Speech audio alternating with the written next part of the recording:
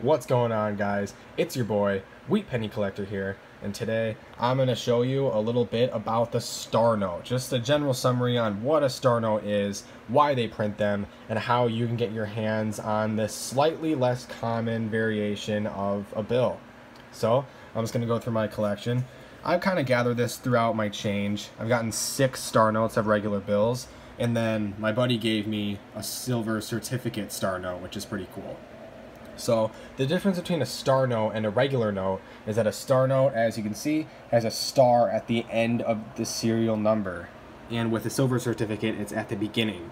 So the government, when they're printing currency on their giant printing press, prints currency, and when they mess up, they take the error notes out of the batch and they replace them with a newly printed star note as a means of quality control. So these star notes are basically replacements for error notes. And since error notes are not all that common, this makes star notes not all that common. So, you know, they're a little collectible. None of the ones that I have are super rare or anything. None of them are super, super valuable. They're all pretty modern. Even the silver certificate one, I mean, this is the only one worth above face value, but there's that tear in it, so I don't know. It might be worth like a few dollars to a collector, but nothing terribly valuable. But if you find a cool serial number, a collectible serial number with a star on it, that makes it all that much more valuable. So the way that you can get these is, you know, through your change, you can you can get your change back. And you know I always check my bills for stars now every single time. It becomes a habit.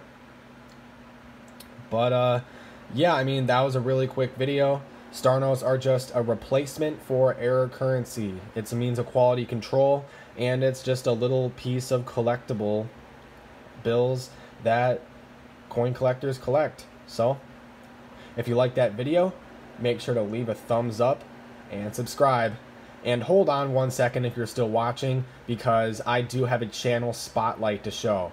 On my last video I made a couple days ago, I said, you know, if you have a coin channel that you want me to give a shout out to, I would show it off in my next video. So it's the same thing for this video. I think I'm going to make this reoccurring. So if you have a coin channel that you want me to spotlight, you know, you can leave a comment down below with a little one or two sentence de description of your channel, and I will make sure to show it off. So, on to the spotlight.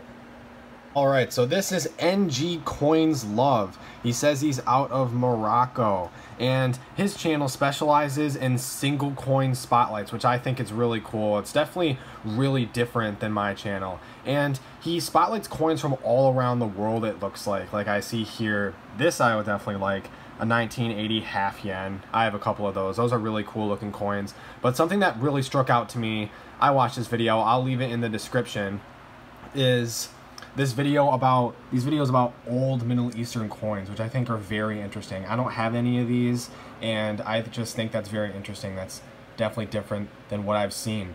So again, subscribe to this channel. I will leave a link in the description. But um, yeah, if you want to be spotlighted, just leave a comment on this channel or leave a comment on my video below and just uh, write a short description of what your channel is. So with that, subscribe, like the video, and I'll see you guys later.